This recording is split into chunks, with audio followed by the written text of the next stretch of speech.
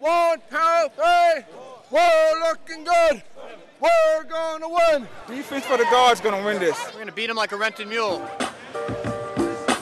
This is the fourth time that the members of Congress have played the Capitol Hill Police. Uh, the inmates versus the guards, uh, the longest yard classic, and it's for raise money uh, for the uh, memorial fund for the uh, Capitol Hill Police and also for literacy uh, in Washington D.C. Say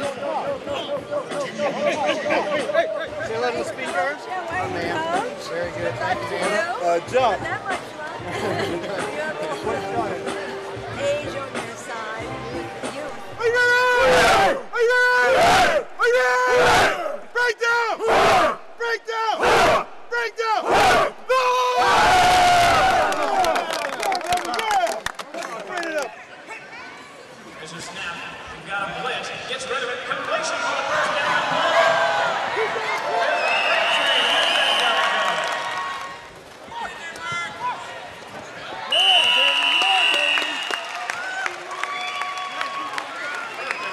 the end zone. Touchdown. Come on, defense. Got to dog it.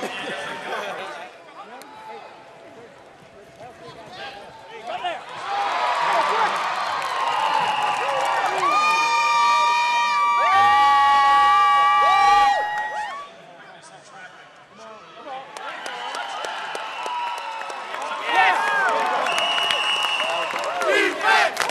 Defense! Defense! Defense!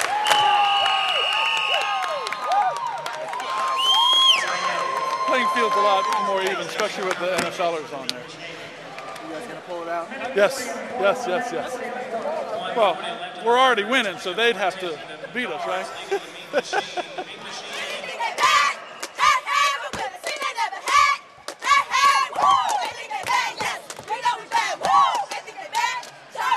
Start our fourth quarter, all tied up. We got the ball in the three. We're driving in the score. We're going to take it to them. We're going to win this game. That's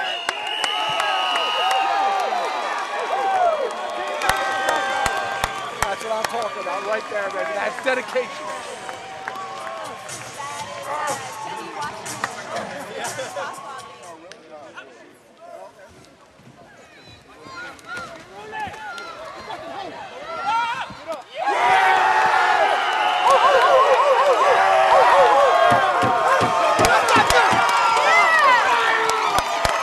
The key is stack the team.